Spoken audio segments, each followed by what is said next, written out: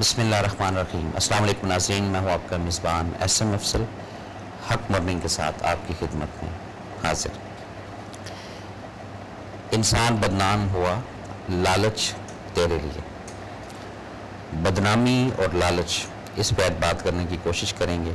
उम्मीद है कि हो सकता है ये भी टॉपिक आपको उसी तरह पसंद आए, जिस तरह के सबका मौजू हमारे रहे हैं। लालच एक ऐसी बीमारी आप कह लें, एक ऐसी वायरस आप कह लें, या एक ऐसा नेगेटिव दुख आप कह लें, जो इंसान के अंदर जब आना शुरू होता है तो उस लालच को फोकस करते हुए ज़िंदगी में कई कामों को वो कर जाता है, जिसमें जायज़, नाजायज़ का अमल दखल या कॉन्सेप्ट ये ख़त्म हो जाता है।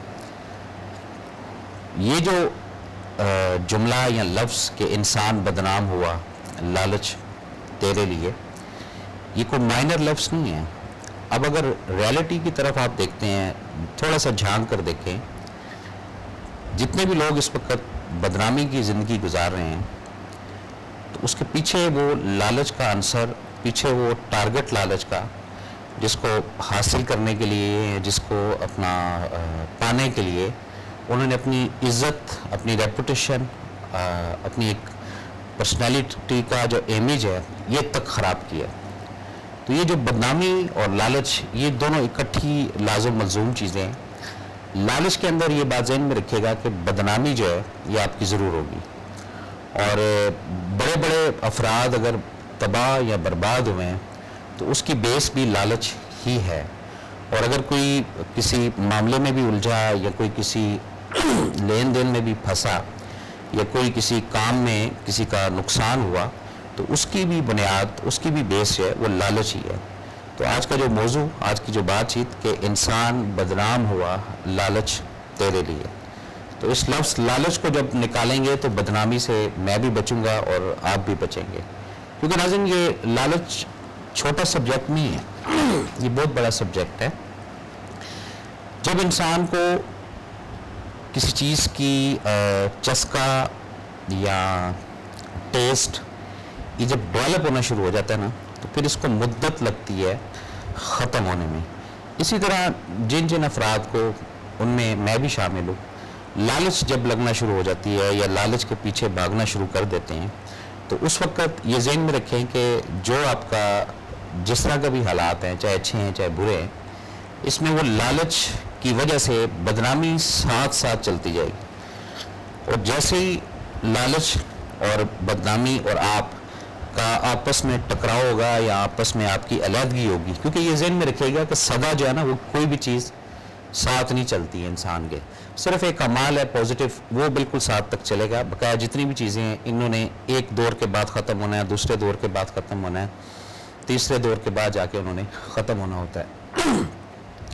तो जिस वक्त लालच की, बदनामी की और इंसान की जब आपस में लड़ाई होगी तो सिर्फ़ इंसान के पास इंसानियत वो भी ख़त्म होगी।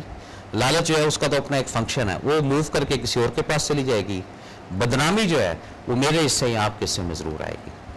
तो क्यों ना बजाय हम उस बदनामी को बदनामी से बचने के लिए या उससे हम निकलने के लिए या उससे हम एग्ज़िट होने के लिए इस लफ्स लालच को, इस लफ्ज़ ज़्यादा हासिल करने को, इस लफ्स अपना क्या कहते हैं जी उसको, हिरस को जब अपने अंदर से निकालना शुरू करेंगे तो फिर ये जो लफ्ज़ है कि इंसान बदनाम हुआ, लालच तेरे लिए, ये कम अज़ कम ख़त्म हो जाएगा।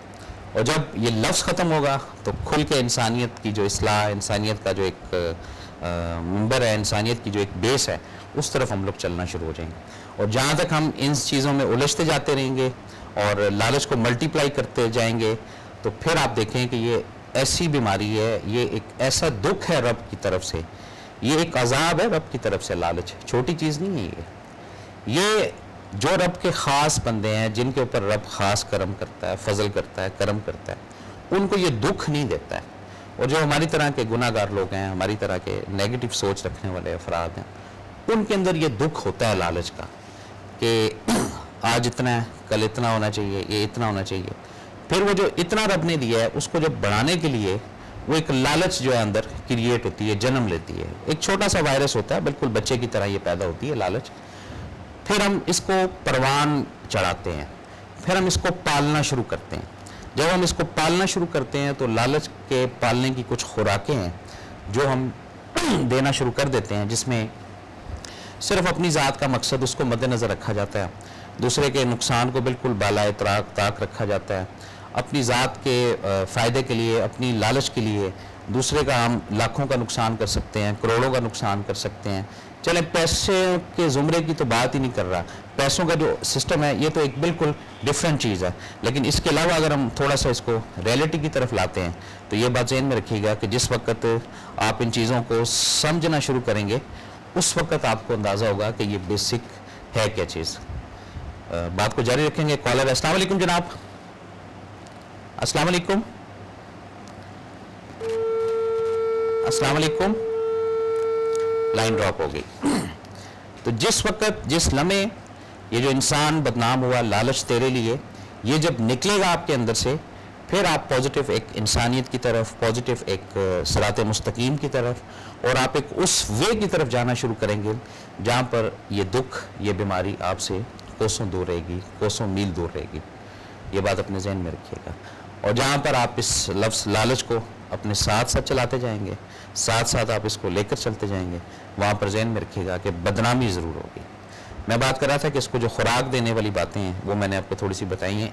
इसी से रिलेटेड दो चार बातें और भी करूँगा, ताकि आप इस लफ्स लालच की अहमियत को समझ लें कि ये एक्चुअल है क्या चीज़।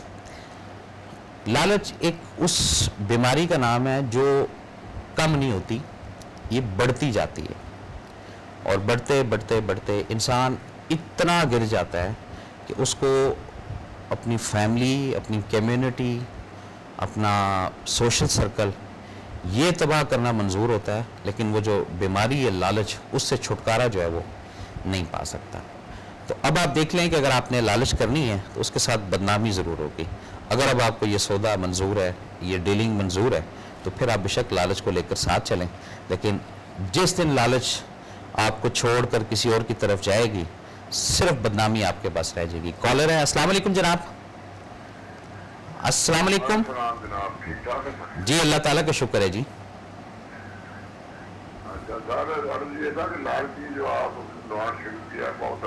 मोहब्बत है, सर। सर, शुक्रिया जी। बारे में चल रहा है? मसला कि ये जो आवाज़ आपकी सही नहीं आ रही। जी जी सर? वो बोलते हैं कि डबल पैसा कर देते हैं डबल सोना कर देते हैं वो लोग फिर लाल खुशी में आके गए हालाँकि वो अगर डबल कर लेते हैं तो अपने लिए करें हमारे लिए क्यों करेंगे आवाम के लिए क्यों करेंगे? हमारे लोग काफ़ी बेचारे ऐसे सिंध में मिठा उत्तर इधर पंजाब में भी धारा में गुजरात। जी जी। लोग फंस जाते हैं और उसी लाल से जो लोग आप हो रहे हैं वो बहुत बहुत ज़्यादा डबल करे वो अपने तो अपने लिए करेगा उल्लू का पट्टा या आपको डबल नोट कर देगा उधार का या आपको सोना डबल कर देगा? सही कह रहे हैं जी आप हाँ जी। बताना तो लोगों को पता चल जाए कि ये चीज़ जो है बहुत फिर से बचना चाहिए। इसमें फंस के फिर अपनी तक रकम और अपना सोना जहाँ करता है। बिल्कुल सही बात है और कुछ कहना चाहेंगे आप? बड़ी बहुत शुक्रिया जी। अल्लाह हाफिज। जी नाजरीन। दो हालतों में इंसान मार खाता है। एक मुरवत में, एक लालच में। लेकिन मुरवत की जो मार है, उसकी कॉम्पनसेशन रब ने रखी हुई है। उसका रज, अजर जो है, वो रब आपको ज़रूर देता है। और जहाँ आप लालच में आते हैं, और लालच में जो मार पड़ती है, इसमें बेसरो सामान होते हैं, और कोई उठाने वाला नहीं होता है आपको।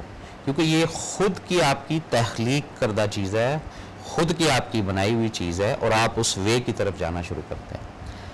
जितने भी नाजरीन इस प्रोग्राम को देख रहे हैं और समझ रहे हैं, वो थोड़ा सा अपनी लाइफ को ज़रा से चेक करना शुरू करें कि जब भी नुकसान का सबब कोई चीज़ बनी या उनका कोई सोशली लॉस हुआ फाइनेंशियली लॉस हुआ या उसके अलावा फिज़िकली भी अगर किसी का लॉस हुआ तो उसके पीछे एक लालच थी।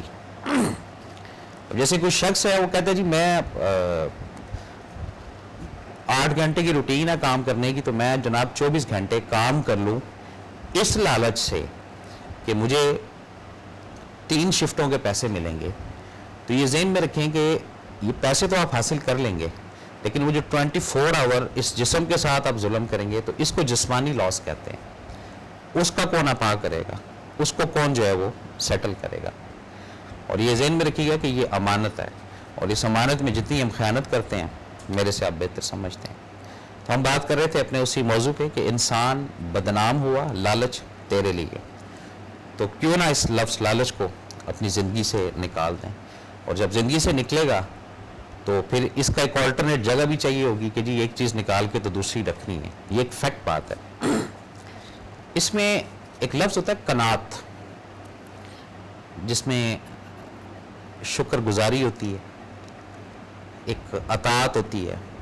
वो जो आपकी हालत होती है, उस पर आप रब की ज़ात का शुक्र बजा लाते हैं कि या परवरदिगार, तेरा शुक्र है। ये जब लालच का लफ्ज़ निकलेगा तो उस लफ्ज़ ने फिर आना होता है बॉडी के अंदर। ये ज़रा इस फार्मूले को समझिएगा कि लालच का लफ्ज़ जब निकलेगा तो उसका ऑल्टरनेट कनात जो है, वो फिर आनी होगी। कनात एक ऐसी चीज़ है कि उसके अंदर जब आप मल्टीपल होते जाएँगे, बढ़ाते जाएँगे उस कनात को, वो खुद ब खुद रब की तरफ़ से जो जो आपकी विशेज़ हैं, जो जो आप चीज़ें चाहते हैं, हर इंसान की अपनी अपनी ख्वाहिशात होती हैं। कोई पैसे की तरफ़ जाना चाहता है, कोई इज़्ज़त की तरफ़ जाना चाहता है, कोई शहरत की तरफ़ जाना चाहता है, कोई एक अच्छा सिनेरियो में रहना चाहता है। कुछ लोग ऐसे भी होते हैं कि नेगेटिव सोच की वजह से अपने आप को बड़ा फन खां भी तस्वुर करते हैं और अपने आप को उस मुकाम तक भी ले जाना चाहते हैं।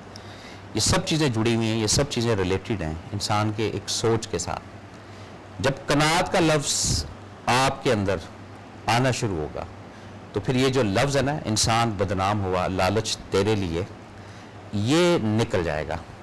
फिर इसका ऑल्टरनेट रब की तरफ़ से ख़ास यानी कहते हैं कि इंसान के ऊपर यानी इनाम हुआ, या इंसान के ऊपर फजल हुआ, या करम हुआ, कनात तेरे लिए। तो इस कनात के लफ्ज़ से इनाम भी आप हासिल कर लेंगे। रब का फजल भी हासिल कर लेंगे, रब का करम भी हासिल कर लेंगे। और लालच के साथ सिर्फ़ एक ही चीज़, वो है बदनामी। अब जितने भी अफराद इस प्रोग्राम को देख रहे हैं, समझ रहे हैं, वो इस चीज़ को रियलाइज़ करते हैं, ये नहीं करते, ये वक्त के साथ साथ पता चलता है कि अगर लफ्ज़ लालच निकल गया तो फ़ायदे बहुत हैं।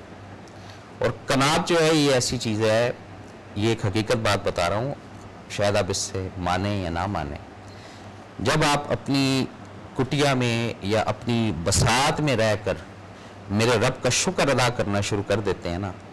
खुदा शायद है कि वो आपके उस कुटिया में, आपके उस बसात में इतनी खैर व बरकत डाल देता है, जिसमें ना बदनामी का डर होता है आपको, ना कोई टेंशन का डर होता है, ना कोई परेशानी का डर होता है, ना छीनने का डर होता है, ना कोई खौफ होता है। और लालच के अंदर हर वक्त ये कैफियत होती है कि पता नहीं किस वक्त क्या चीज़ हो जाए। यानी आपका माल इसबाब जहन, जिसम, सोच हर वक्त दाव पर लगी होती है। जब आप लालच के प्लेटफॉर्म से खेल रहे होते हैं और जब आप इस लफ्ज़ को निकाल के साइड पर हो जाते हैं और कनात की तरफ़ ले आते हैं तो फिर आप देखें रब की ज़ात आपको कितना नवाजती है। किसी के पास बाइक है, अगर वो इस पर कनात करता है कि या परवरदिगार, तेरा शुक्र है तो रब उसको बढ़ाकर आगे लेकर ज़रूर जाएगा। अगर वो लालच उस कैफियत में शुरू कर देगा कि बाइक को कहीं आगे पीछे करके तो किसी और चीज़ को पकड़ने की एफर्ट करूँ या कोशिश करूँ तो ये जहन में रखिएगा कि ये हासिल तो आप कर लेंगे, लेकिन ये लालच में होगा। और वो चीज़ हासिल करने के लिए ज़हरी बात है, आप कुछ